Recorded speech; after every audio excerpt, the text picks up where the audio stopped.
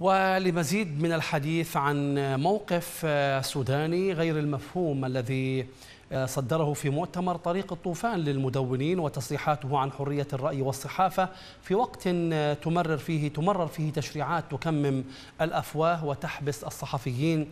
ينضم إلينا عبر الخط الهاتفي من بغداد الصحفي والناشط المدني عادل الجبوري. أستاذ عادل مرحبا بك معنا. أهلا وسهلا بك و تحياتي إليك وإلى مشاهدي قناة الرافدين الفضائية. أهلا وسهلا.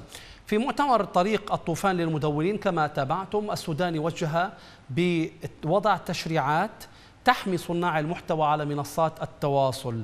هل هذا يعني بان بأنه لن يتم ملاحقة صناع المحتوى وفقا للعديد من الحوادث التي جرت قبل ذلك وأن هذه التشريعات ستحمي صناع المحتوى والمدونين سواء كانوا مؤيدين للحكومة أو معارضين لها؟ نعم. المؤتمر اللي دعا إلى رئيس الوزراء يوم الخميس هو طريق الطوفان دعا إلى المدونين من دولة فلسطين ومن الكويت ومن الدول الأجنبية لكن الصحفي العراقي الوطني يعرف أن هذا كله كذب وخداع إلى الصحفيين العراقيين.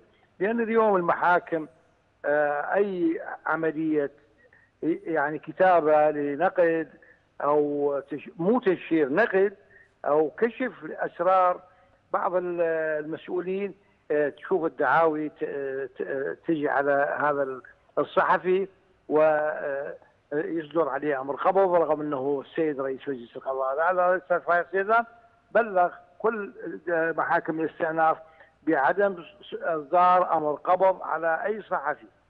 يعني يستغلون العلاقات السياسي مع مع القاضي التحقيق ويصدر أمر قبض يعني. وهذا الموضوع أنا. أنا صارت فيه يعني. أنا توقفت يوم كامل بالليل بمركز شرطه أنا ما مسوي شيء سوى أنه كاتب. وما مرتكب لا جريمة ولا سارق المال العام ولا ارتكبت شيء. يخرب النظام العام. اليوم كلها هذه تغطية يعني اليوم التغطية من السيد السوداني. آه قبل فترة آه انتقل أحد الصحفيين في آه قناة دبليو تي ادوات لوزير التعليم العالي نعم. نعيم العبودي. السيد السوداني اتصل بالقناة وقال لهم إذا ما طردوه طردوه فعلا. إذا ما طردوه ويسدون البرنامج اغركم 7 مليارات. ونعيم العبودي دز خابر الكلية قال لهم اسدها الكلية إلى ما من الكلية. هذا صحفي رجل يشتغل إعلام في في بس هو أستاذ جامعي.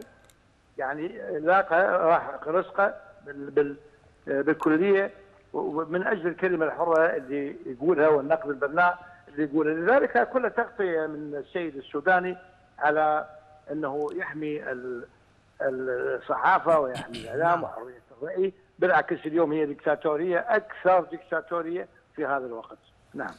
استمرار الوضع على هذه الحالة وتعرض الصحفيين إلى ممارسات وانتهاكات واضحة ودائمة سواء باعتقالات مطاردة. بعضهم لا يطلب للتحقيق ولا يطلب للاعتقال ولا للمحاكمة إنما تطلق عليه النيران فيقتل أو يصاب. وهذا أخطر بكثير من مجرد يعني التحقيق معه أو محاكمته. السؤال عن حالة الحرية حرية الرأي والتعبير. طالما أننا نتكلم عن هذا الوضع المزري باتجاه الصحفيين والإعلاميين. الحقيقة يعني هي ماكو حرية صحافة. يعني اليوم أي جريدة ورقية تصدر وأنا كنت أعمل في جريدة ورقية سويت مقالة نقل إلى الدولة رفض رئيس التحرير قال أنا أخاف لا يحرقوا لي الجريدة. اليوم الخوف الخوف من القتل والخوف من حرق الصحيفة وحرق الدور وهذه مسألة كلش اعتيادية أصبحت. يعني الصحفي معرض إلى أي لحظة أن يتم قتله بالشارع من قبل سائق الدراجة مثل ما يقتلون البلوجرات والفاشيستات بالعراق. اليوم الكلمة الحرة مضطهدة في العراق ومن يدعي غير ذلك فهو كاذب ومن يقول إنه أكو حرية للصحافة فهو كاذب. لا توجد أي حرية واليوم قانون الحريات الصحفية هو مجرد كذبة آه، كانت للعراقيين يتغنون بها في كل آه، ما يطلعون بالتلفزيون. ولذلك تشوف إنه الصحفي الحقيقي يرفض هذا ويرفض إنه يكون آه، مصيره مثل مصير أي مجرم يقتلوه بالشارع لأنه هو يدافع عن الكلمة، يعني هذا عملية نقد. أنت من من اليوم من من صرت مسؤول يجب أن تكون شخص من تكون شخصية عامة تتقبل النقد اللي يوجهه يعني رئيس حزب موجود بالسلطة. رئيس حزب. آه، نقدها أحد الصحفيين. قام عليه عشر دعاوي يطلع من وحده يطبب بوحده يطلع من وحده يطبب بوحده يعني آه، أنت منو قال لك تتفوق يعني تكون عامة؟ أبقى شيخ ولا لا ما حد ينتقدك. بس انت ما دام تعرضت إلى المسؤولية تبقى أنه إحنا الصحفيين ننتقدك وننتقد تصرفاتك. ما نسكت عن الخطأ. وإذا سكتنا عن الخطأ فهذه جريمة نعم. لحق اللافت أستاذ أستاذ عادل نعم. اللافت أن هذه الجيوش الإلكترونية آه، بإشراف المكتب الإعلامي المكتب الإعلامي الحكومي وتنفق ملايين عليها كما آه، يرد في كثير من التقارير، كيف يمكن أن يكون ذلك يعني ال ال الذي من المفترض أن ينفذ ويطبق القانون هو الذي يرعى هذه الجيوش وينفق عليها الملايين بينما يلاحق أيضا الصحفيين الذين يكشفون ملفات الفساد. نعم.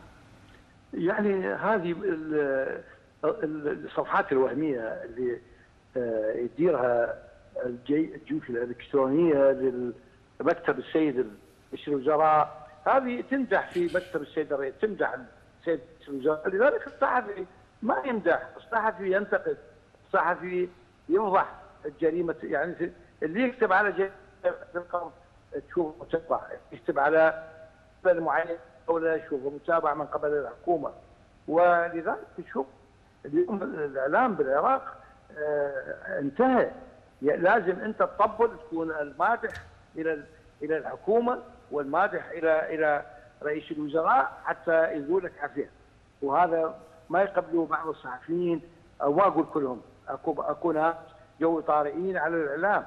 ولذلك يقبلوها لأنه يشوفون لديهم مزايا من هذا اللي يصير يعني بمدح رئيس الوزراء. أو مدح السلطة. لكن بعض الصحفيين يرفضون عملية مدح السلطة وما مدح للسلطه لكن ينتقد ما موجود من مسائل آه، غير صحيحة بالعراق. نعم. أستاذ عادل هناك شيء يلفت الانتباه في هذه المعادلة وهو أن الكلام والانتقاد من الصحفيين لن يضر ويمس بكيان أو بكيانات هذه الميليشيات أو الحكومة. هو في النهاية انتقاد يستند إلى أدلة وإلى تحقيقات استقصائية وإلى آه، يعني ملفات فساد معروفة ومشهورة بالأشخاص وبالأسماء وإذا لم يقم نعم. يقم الصحفي المتمرس الاستقصائي بالعمل بشكل مهني سيتعرض بالتأكيد للسؤال والملاحقة وهذا أمر طبيعي حتى في أكثر الدول تقدما وحرية رأي وتعبير. السؤال هو لماذا تخشى الحكومة على نفسها وعلى الوضع العام من هؤلاء الصحفيين المحترمين الذين يبحثون عن الحقيقة ويحاولون حماية الوطن والمواطن من سيل الفساد المنتشر في أكثر من قطاع. نعم. يعني شوف أن الحكومة مش شرفة بالسلطة والكرسي. لذلك ما تستطيع صحفي أنه يكشف الفساد. يعني اللي يطلع بالإعلام التلفزيون الفضائيات الأخرى من فساد آه، بعملية بعض الميليشيات اللي تسيطر على آه، دور المواطنين وأراضي المواطنين بالقوة والقتل. تشوف إنه من يحكي صحفي داخل العراق محتمل يعرض نفسه للقتل. وهذا هو المشكلة اليوم اللي يعانيها الصحفي الجريء الذي يعني مثل ما قلت لحضرتك إنه أحد الصحفيين في طردوه من المقال واحد البغدادية. يعني لأنه كان ينتقد السلطه هو مو حتى تجوز له مكافاه اجرام هو رجل صحفي إعلامي يطلع في برنامج على البغدادية ينتقد السلطة. خذ الانتقاد مالته شوف شنو اللي يقوله وإذا كان صحيح نفذه. وإحنا نشكرك يا المسؤول عن السلطة لكن هو أنت كل ما تكون العملية ننتقد تزلنا شرطة مكافحة الإجرام أو شرطة مكافحة الإرهاب إحنا مو رقابيين صحفيين. كل اللي عندنا كل اللي عندنا هو قلم لا نعم. نبوق من الدولة لا نشغله بالشغلات الدوائر الدولة لا نبتز احد نشوف حالة سلبية نكتب فيها.